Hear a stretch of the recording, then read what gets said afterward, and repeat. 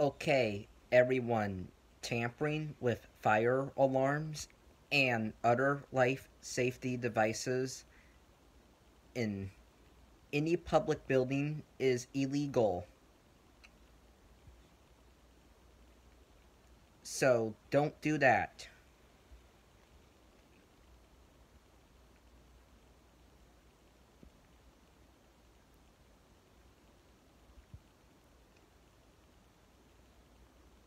If you pull the fire alarm or tamper with any life safety devices at school, you are going to get suspended, expelled, you are going to get fined, and you are going to get arrested by the police.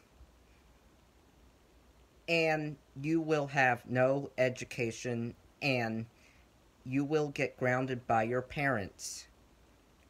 So don't do that.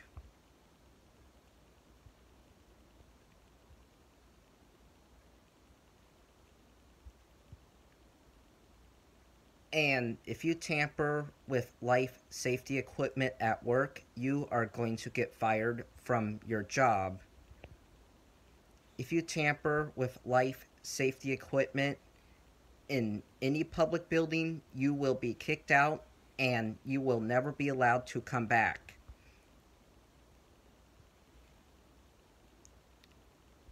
Only pull fire alarms if there is a real fire or if you have permission to pull it for a fire drill or a fire alarm system test, or if you have your own fire alarm system at home in a controlled legal environment where the fire department doesn't come.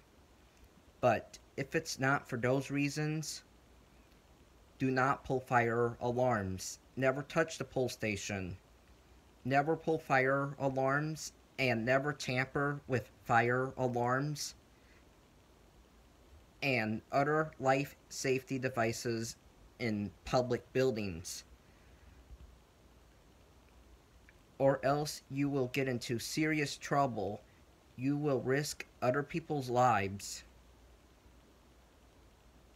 and you will go to jail. So do not ever tamper with any life safety devices in public buildings. Bye.